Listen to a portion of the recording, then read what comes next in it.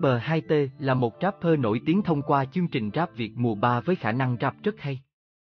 Bên cạnh đó, Rapper 2T rap Việt còn được mọi người yêu thích hơn nữa qua bản hit Tà Lôi, làm mưa làm gió mạng xã hội. Nào hãy cùng tiểu sử ngôi sao tìm hiểu tiểu sử Rapper 2T nhé. Tiểu sử Rapper 2T là ai? Người miền núi chất hay rapper Rapper 2T tên thật là Bùi Xuân Trường. Dapper 2T sinh ngày 14 tháng 4 năm 1996 thuộc cung Bạch Dương, năm nay Dapper 2T 27 tuổi. Được biết rapper Dapper 2T quê ở tỉnh Tuyên Quang và đã bay vào thành phố Hồ Chí Minh để thi rap Việt. Chiều cao Dapper 2T cao khoảng 1m70cm, cùng với đó anh có một vẻ ngoài điển trai cùng phong cách ăn mặc lẫn âm nhạc rất chất.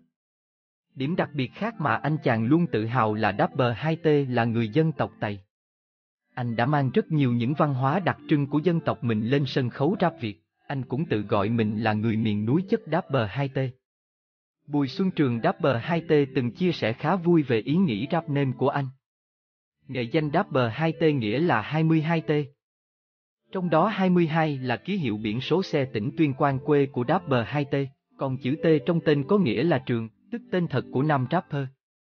Có thể thấy rằng giống như một số rapper khác, Dapper 2T cũng là một anh chàng rất tự hào về mảnh đất quê hương mình được sinh ra.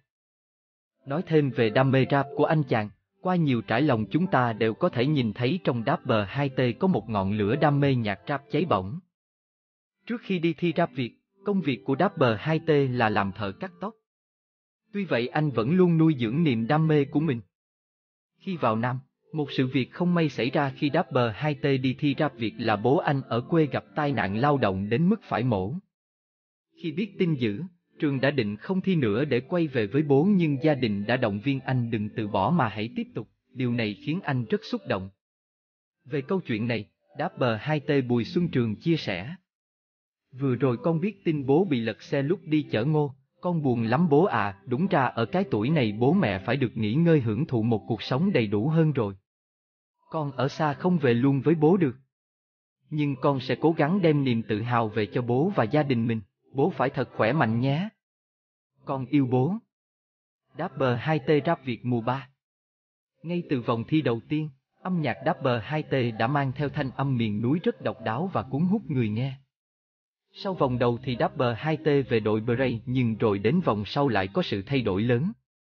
Ở vòng tiếp theo, khi Dapper 2T bị loại thì huấn luyện viên Bigadi đã quăng nón vàng đưa Dapper 2T về đội của huấn luyện viên chủ hiệp, mượn rượu tỏ tình. Ngay từ vòng thi đầu tiên của Dapper 2T, Bigadi đã rất thích anh chàng và liên tục bày tỏ mong muốn Dapper 2T có thể về đội mình nhưng không thành, để rồi phải đến vòng 2 thì Bigadi mới đạt được điều mình muốn. Trong các vòng thi tại rap Việt Dapper 2T đã thể hiện tài năng một cách xuất sắc, khiến anh trở thành top rapper được yêu thích nhất chương trình. Hiện tại Dapper 2T chung kết rap Việt đã có tên anh và nghiễm nhiên Dapper 2T trở thành một ứng cử viên sáng giá trở thành quán quân AVSS3. Điểm sáng nhất trong nhạc rap Dapper 2T Bùi Xuân Trường có lẽ là những chi tiết mang màu sắc dân tộc được đan xen khéo léo trong bài nhạc. Đây là điều mà hầu như chưa có rapper vùng dân tộc nào ở Việt Nam vận dụng tốt như Dapper.